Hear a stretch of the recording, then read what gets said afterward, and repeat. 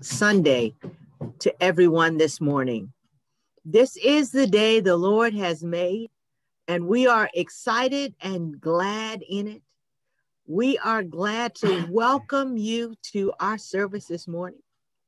We also want to welcome you to Pentecost Sunday, the day that we remember and celebrate the actually beginning of the Christian church and the day that we are reminded that God lives by faith in each and every one of us.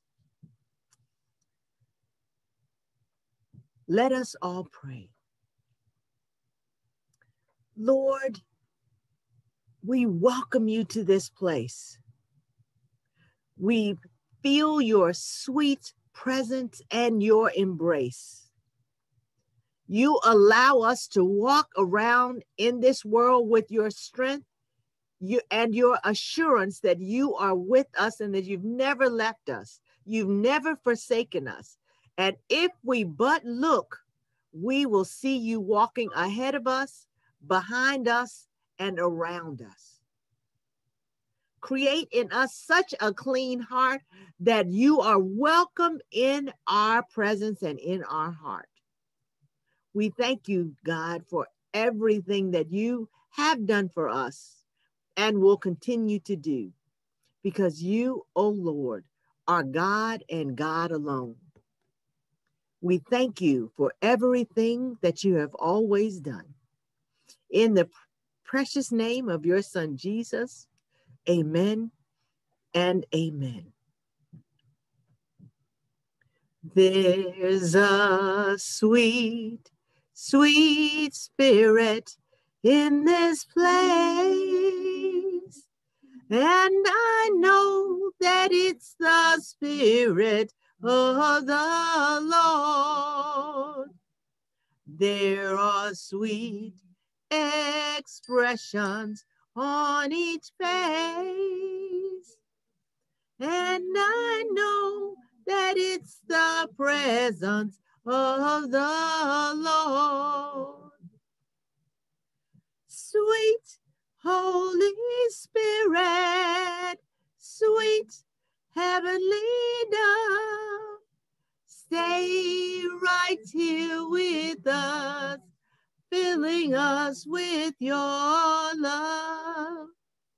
And for these blessings, we lift our hearts in praise.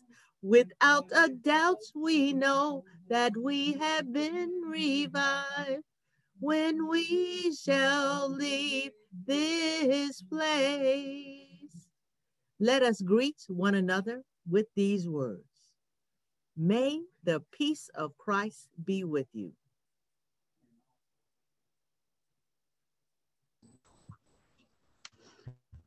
Come and worship.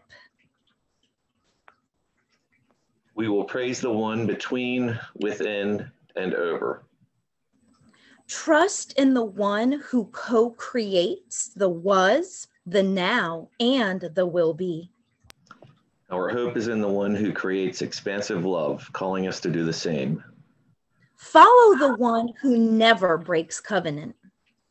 We follow the one whose extravagant love calls us to co create justice for the oppressed, feed the hungry, unlock prisons, and welcome strangers, orphans, and widows. Praise the one whose justice is graceful and inclusive. We praise the spirit that spans the ages. Amen. And our opening hymn this morning will be found in the United Methodist hymnal number 422 Jesus, thine all victorious love. 422.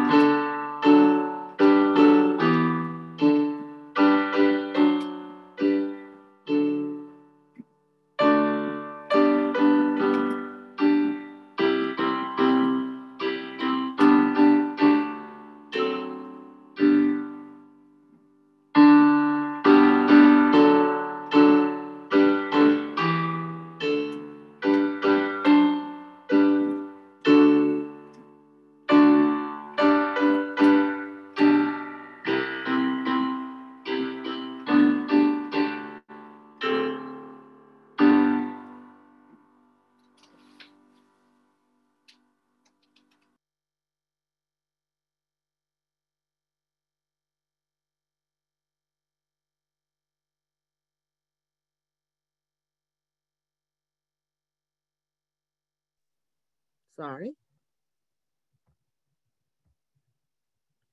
Flaming God of Pentecost, let us speak in tongues of comfort to those weeping over the bodies of their loved ones shot by troubled gunmen, killed in border clashes, dying from COVID. Let us speak, speak in tongues of courage to those living in fear of the next shooting, the next bomb, the illness that threatens. Let us speak in tongues of condemnation against laws and policies that promote violence, prioritizing the preferences of some over the lives of others.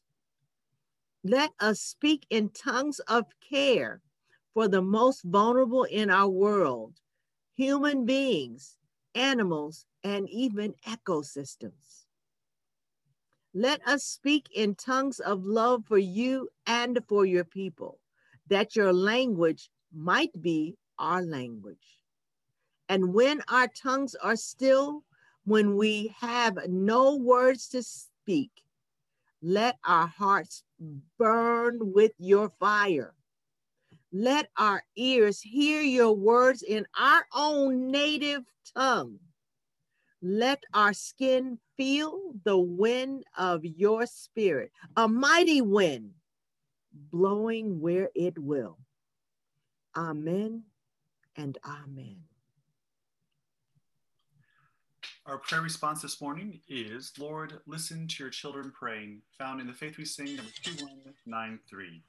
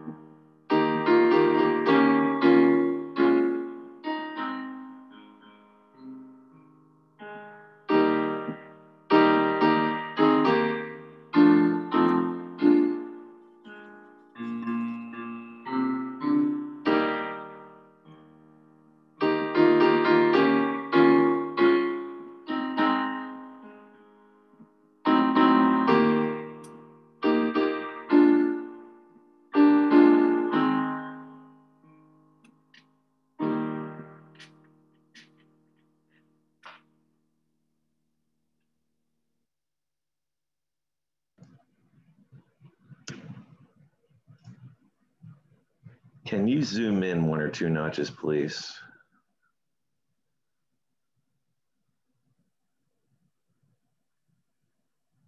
Appreciate it. Our Old Testament lesson today comes from the book of the book of Ezekiel, chapter 37, verses 1 through 14.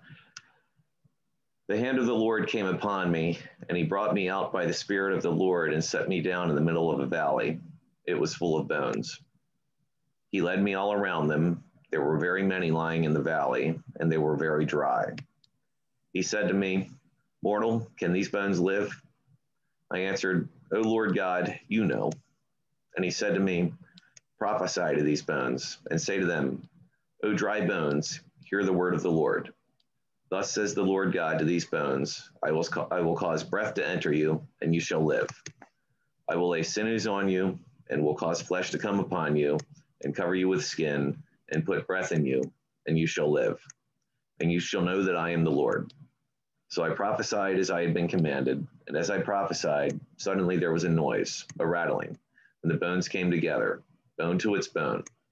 I looked, and there were sinews on them, and flesh had come upon them, and skin had covered them, but there was no breath in them. Then he said to me, Prophesy to the breath, prophesy, mortal, and say to the breath, Thus says the Lord God Come from the four winds, O breath, and breathe upon these slain, that they may live. And please scroll down. Thank you. I prophesied as he commanded me, and the breath came into them, and they lived and stood on their feet, a vast multitude. Then he said to me, Mortal, these bones are the whole house of Israel. They say, Our bones are dried up, and our hope is lost we were cut off completely. Therefore, prophesy and say to them, Thus says the Lord God, I am going to open your graves and bring you up from your graves, O my people, and I will bring you back to the land of Israel. And you shall know that I am the Lord when I open your graves and bring you up from your graves, O my people. I will put my spirit within you, and you shall live, and I will place you on your own soil, and then you shall know that I, the Lord, have spoken and will act, says the Lord. Our New Testament reading comes from the book of Acts, chapter 2, verses 1 through 21. When the day of Pentecost had come, they were all together in one place. And suddenly from heaven there came a sound like the rush of a violent wind, and it filled the entire house where they were sitting. Divided tongues as of fire appeared among them, and a tongue rested on each of them. All of them were filled with the Holy Spirit and began to speak in other languages as the Spirit gave them the ability. Now, there were devout Jews from every nation under heaven living in Jerusalem. And at this sound, the crowd gathered and was bewildered because each one had heard them speaking in the native language of each. Amazed and astonished, they asked, are not all these who are speaking Galileans? And how is it that we hear each of us in our own native language? Parthians, Medes, Elamites, and the residents of Mesopotamia, Judea and Cappadocia, Pontus and Asia, Phrygia and Pamphylia, Egypt and the parts of Libya belonging to Cyrene, and visitors from Rome, both Jew and proselytes, Cretans and Arabs, in our own languages, we hear them speaking of God's deeds of power. All were amazed and perplexed, saying to one another, What does this mean? But others sneered and said, They are filled with new wine. But Peter, standing with the eleven, raised his voice and addressed them Men of Judea and all who live in Jerusalem let this be known and listen to what I say. Indeed, these are not drunk as you suppose, for it is only nine o'clock in the morning. No, this is what was spoken through the prophet Joel. In the last days, it will be God declares that I will pour out my spirit upon all flesh, and your sons and your daughters shall prophesy, and your young men shall see visions, and your old men shall dream dreams. Even upon my slaves, both men and women, in those days I will pour out my spirit, and they shall prophesy. And I will show potence in the heavens above and signs on the earth below blood and fire and smoky mist. The sun shall be turned to darkness and the moon to blood before the coming of the Lord's great and glorious day. Then everyone who calls on the name of the Lord shall be saved. And this is the word of God for the people of God. Thanks be to God.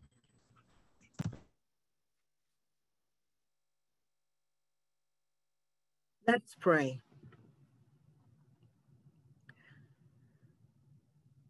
Lord God, let us anticipate your mighty wind, the wind of you, your Holy Spirit, blowing in us, around us, but more importantly, through us. Let us know and be reminded that you, oh God, have given us power and authority and the ability to be in you. And when we forget and we feel weak and dry, remind us that you will always send your refreshing wind to cover us and re- replenish us, to fill our thirsty soul, that we may continue to be your hands and feet and do your will and make this world your kingdom. We thank you, God, for all of these wonderful things that allow us to be in you. In the name of your son, Jesus, amen and amen. I don't have to tell you that it's been rough this past year. But how happy are we that we are coming to the end of our quarantine? Whether you're ready or not, our governor has lifted our mask requirements outdoors and in indoors in some places. We we almost feel free, but not quite. We feel as if we've been cocooned as much as quarantined. But I won't emphasize enough how good it feels to almost be there. But to that freedom, and with that freedom comes responsibility. Our old ways of behaving just won't cut it anymore because the specter of COVID actually is still there. Our hospitality and our outreach have been quarantined and restricted as well, but we are still the children of God. And so we are still required to feed the hungry, to clothe the naked, to visit those who are in jail and are sick, and to pray with those who need comfort in God. And comfort those who are so much grieving. My challenge and your challenge and our challenge is how do we do this? How do we do those things that we are still called to do as children of the King?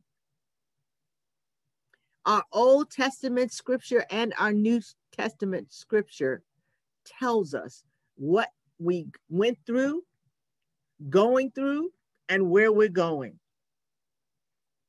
In the Old Testament scripture, we're going to talk about Ezekiel. Ezekiel, who was born into a family of prophets, but who was in captivity with Nebuchadnezzar.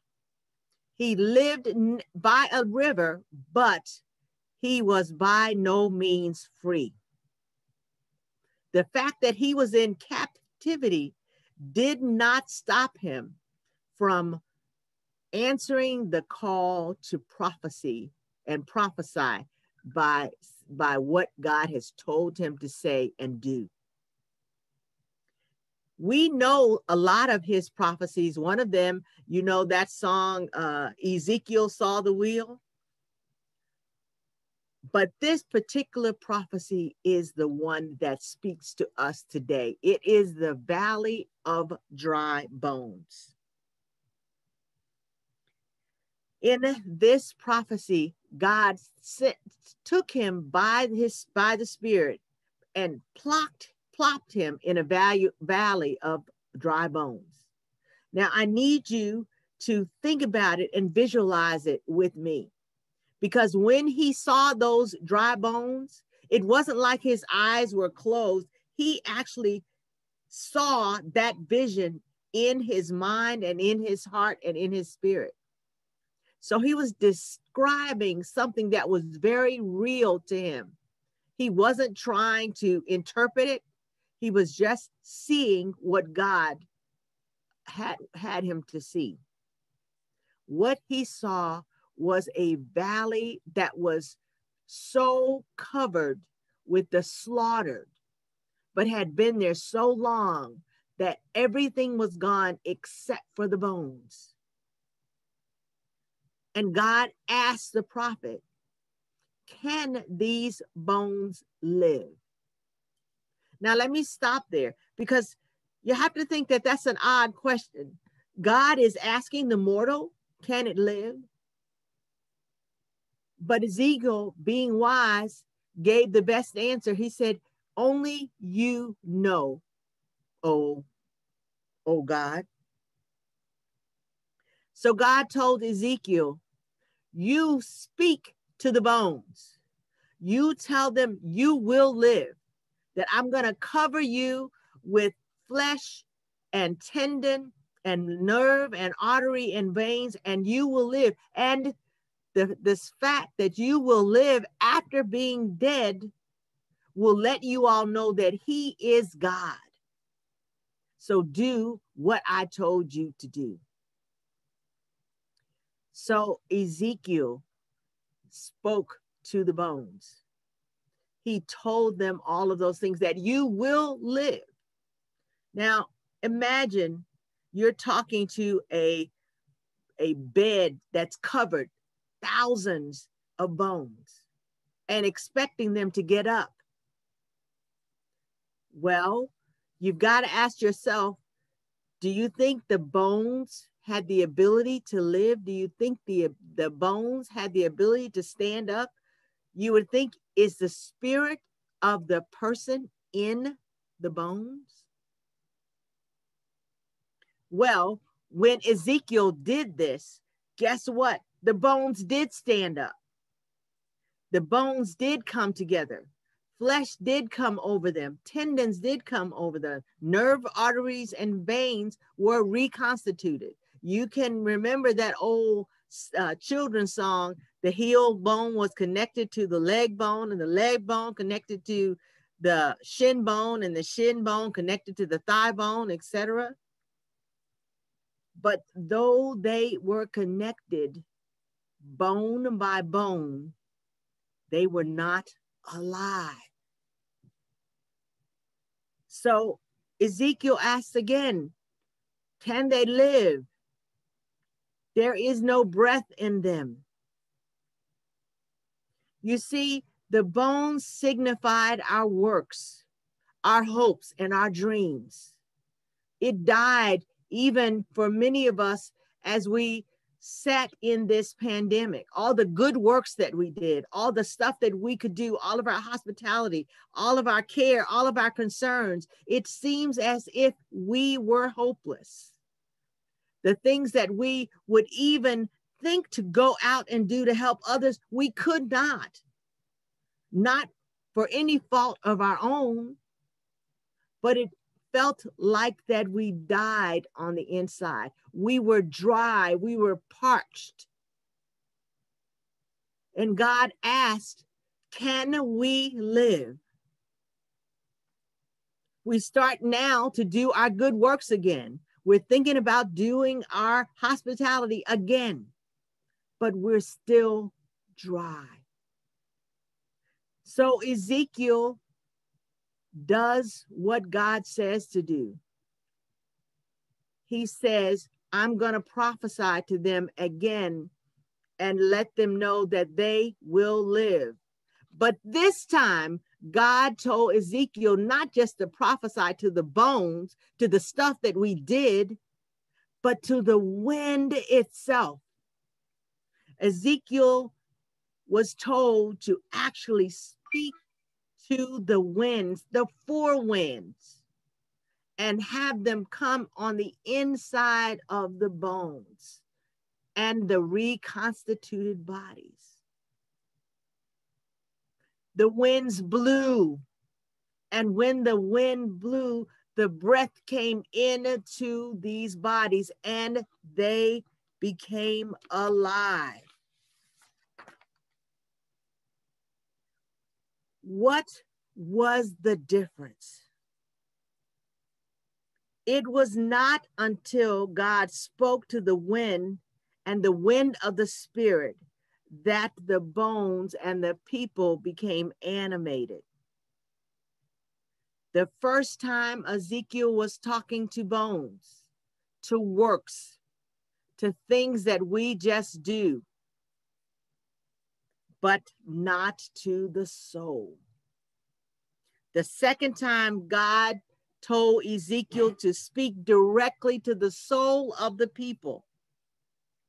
It was the soul, the spirit that animated the dry bones. In our New Testament scripture, I want to set the context for you that the disciples of God, 50 days, were together praying after Jesus had been had been brutally tortured, had died. Some have and was buried. Some had seen him, but he was not with them at the moment. But what they were doing was praying together in one place. You see, Pentecost was, did not start as a Christian celebration. It was the 50 days after the seed was sown. It was the celebration of the harvest and the first fruits. They were used to celebrating Pentecost.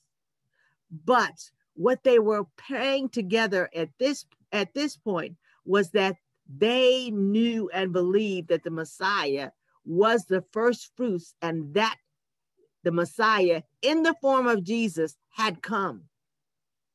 So they were praying together, not waiting, but thankful that God had come. And because they were praying and were thankful, it says, when the day, the morning, the sunrise of that 50th day came, the wind blew. It filled the room. It filled everyone that was there men and women and children. They were then completely immersed by the Spirit of God. So, as they were waiting for Jesus to come back, Jesus did more than that because he allowed all of them to see and feel and experience the presence of the Holy all together.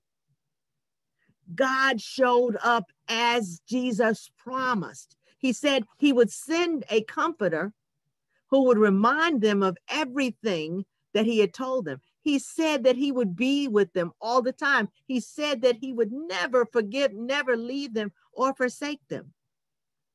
So Jesus not only kept his promise, but he allowed everyone to be able to experience the presence of the Holy all at the same time.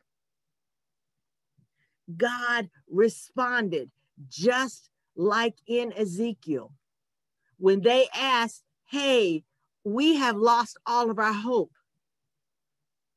But God said, I will not only give you hope, I will make you alive, and you will know that I am God. The same wind of prophecy blew. The same Holy Spirit is there. The same concept that Ezekiel told them in prophecy, forthtelling, was fulfilled on this 50th day of celebrating the first fruit.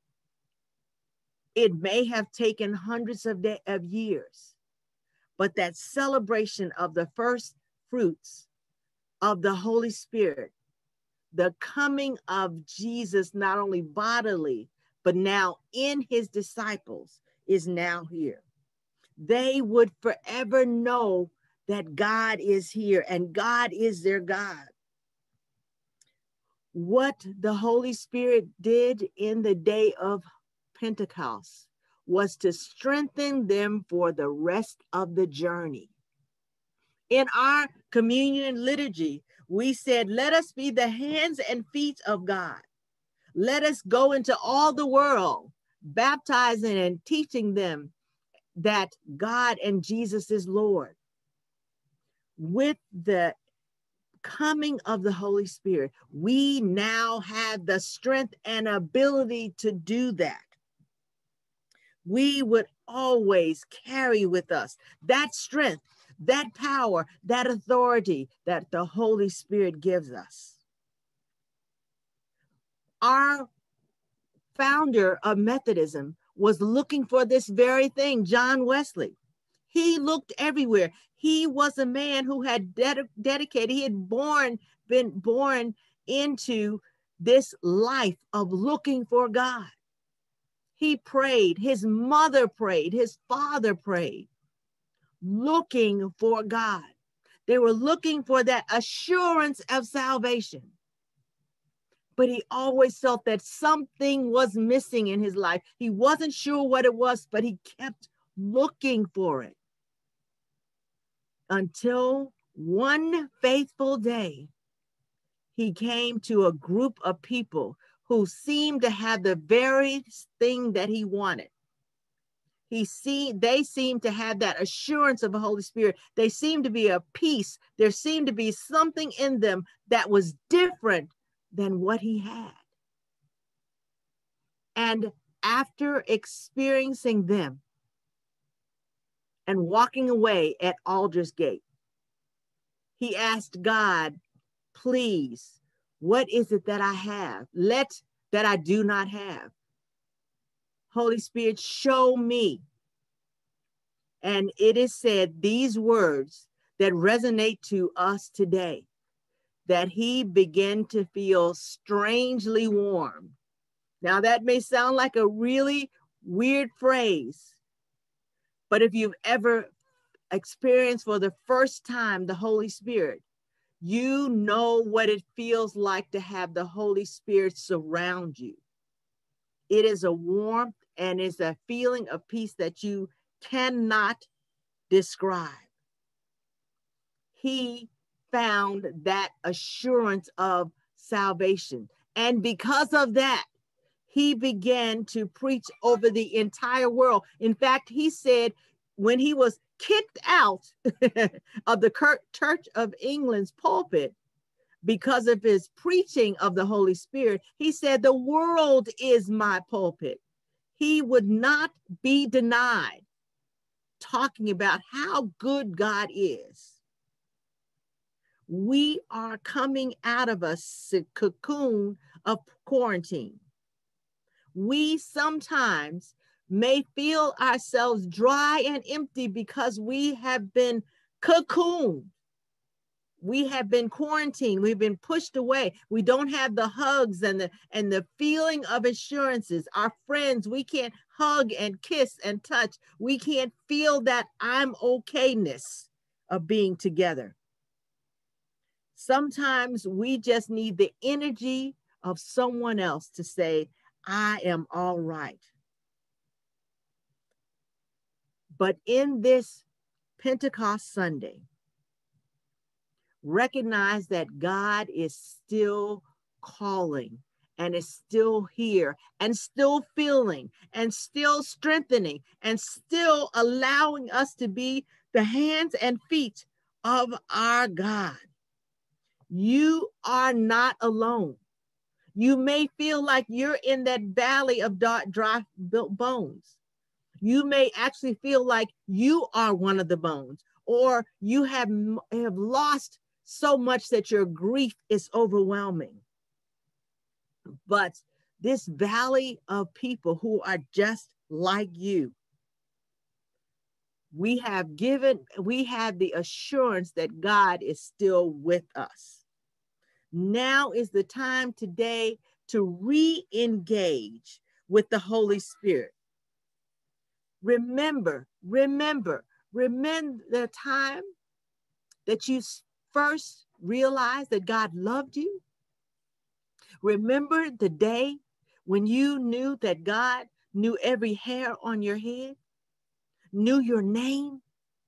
Remember the day that something happened that gave you that assurance that Jesus was right there with you. God understands wanting uh, being dry at times and wanting more. That's why when when we feel like we're alone, we have to reach up to God who promised us this comforter who's always there and reminds you that God is with you all the time, even in our salad, saddest and deepest time. This is the gift of the Holy Spirit. It's there for the asking. All we have to do is ask. So today, as we contemplate this story of dry bones, remember the story of Ezekiel and remember the story of Pentecost, which is the beginning of the Christian church. Why don't you today, as I had to do even this morning when I woke up, ask the Holy Spirit, fill me again. Come into my life, strengthen my heart, renew my vitality because I'm feeling weak right now. Ask God to enliven your purpose. Find yourself like the first disciples, giving thanksgiving for your first fruits, but anticipating the Holy Spirit to come over you. Find yourself like John Wesley and feel strangely warmed by the presence of the Holy Spirit. Find yourself here and now as God holds you and strengthens you and fills you with wisdom and courage, some that you may not have known before. Use this strength and wisdom to go out and preach the good news that God is still alive and alive in you, that God loves you, and so do you. Use this time to walk out into a big world that needs your presence and is waiting for you and only you to speak the words of truth and life. Amen. And go with God, people of God. Amen and amen.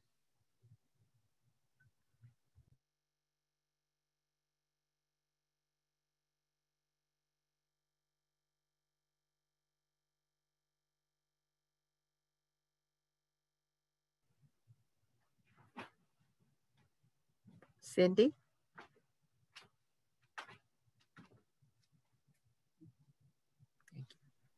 And please join me. Our response to the sermon will be found in the United Methodist Hymnal, number 420, Breathe on Me, Breath of God.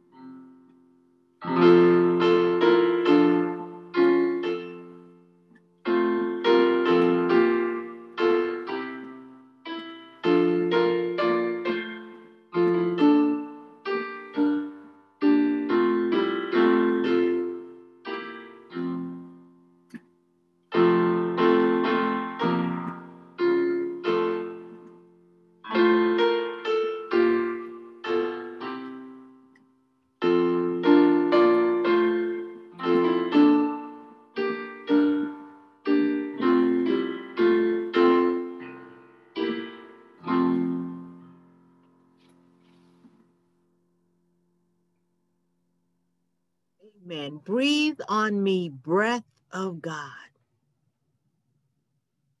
We do respond to God's breath and his urging and his nudging and the word through our faithful giving. We thank you that God has breathed on you, old Otterbein, and you are faithful givers. We thank you for continuing to give and giving your offering online because God does love a joyful and hilarious giver. And you have, in your giving, allowed us to be the hands and feet. The link for giving is at oldotterbein250.org. And we thank you for donating. Amen.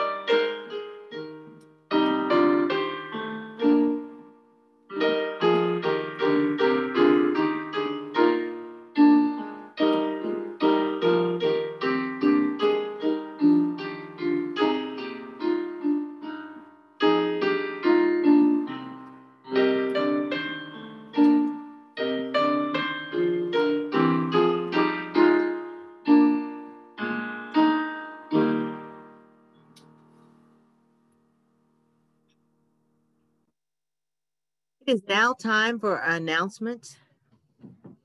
As usual, do not forget to uh, print out the prayers and concerns at the top.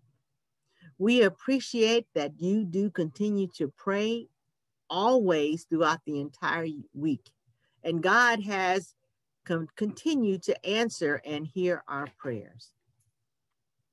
Our um, virtual worship uh, services are continuing. However, we are looking into it and we will have a, um, uh, we are looking into going into in-person services um, and definitely look into it because constant contact will give you the information for when we are back online.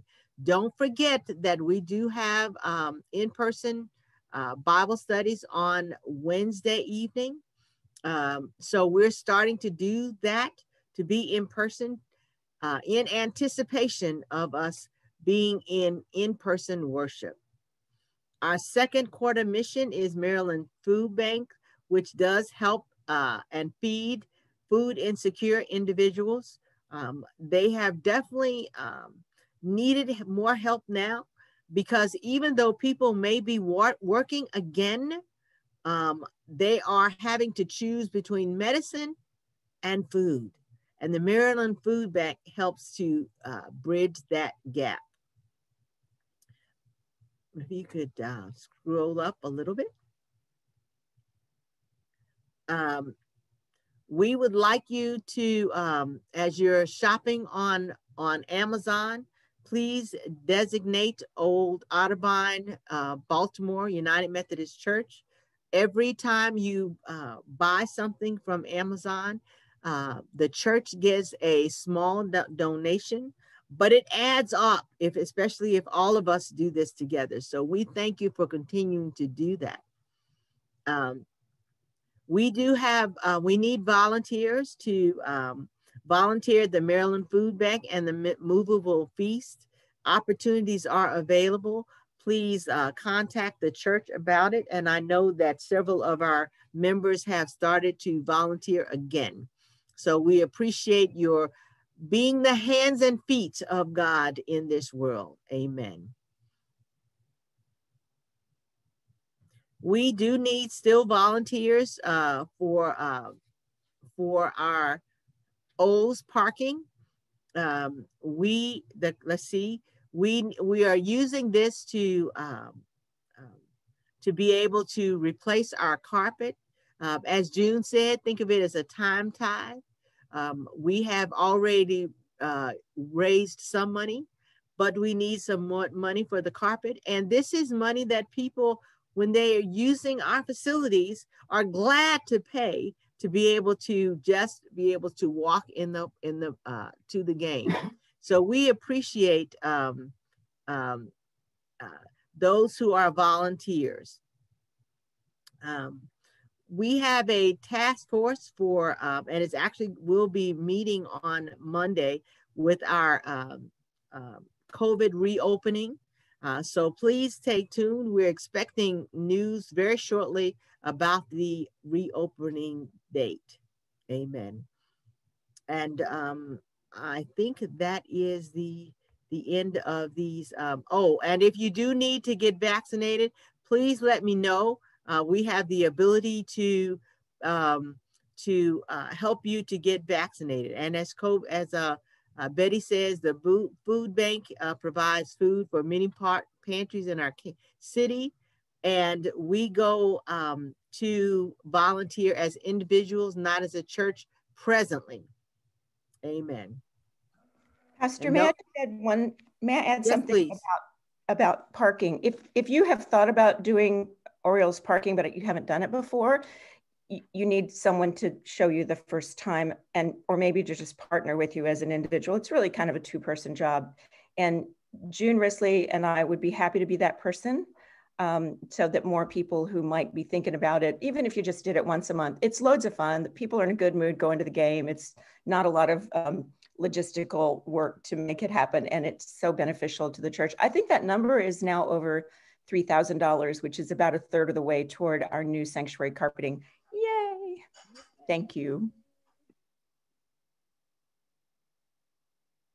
Amen.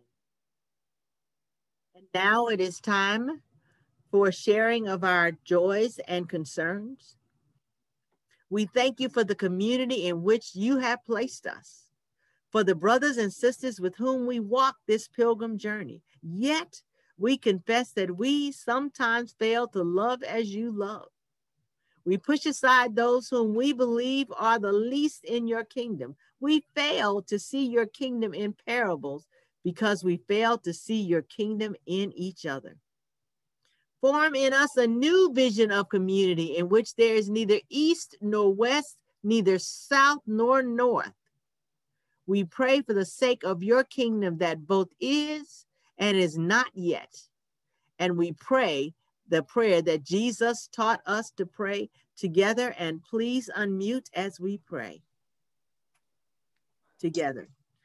Our Father, Our Father, who art in heaven, Hallowed be, hallowed be thy name. thy kingdom come. Thy kingdom Thy come, kingdom thy come, will be done be done on on earth earth as it is in heaven.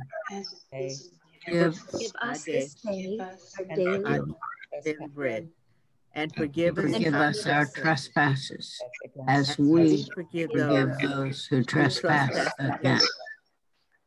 And lead us not into temptation, but but deliver us from evil. us from evil. from evil.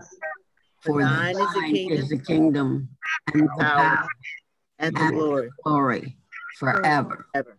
Amen. Amen. And our closing hymn today will be also found in the United Methodist hymnal number 384, Love Divine, All Loves Excelling. 384.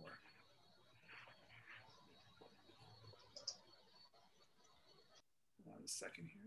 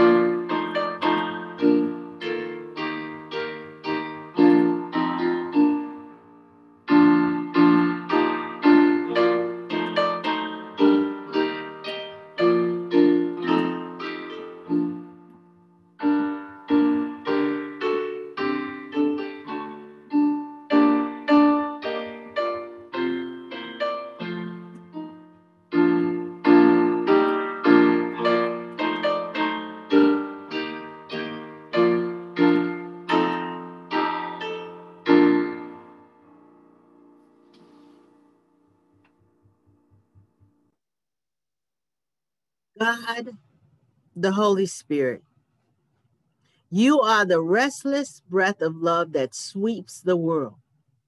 You move where you will, breaking down barriers, stirring hearts to change, making all possible. Inspire each one of us to hunger and thirst for justice. Come, Spirit of God, sweep through our world, bringing great change. May the bounty of your goodness be shared more justly so all may share in the rich blessings of your creation. And for us, bring transformation in our praying and living so that we may act justly, love mercy, and walk humbly with you all the days of our lives. Amen and amen. If you all would stay.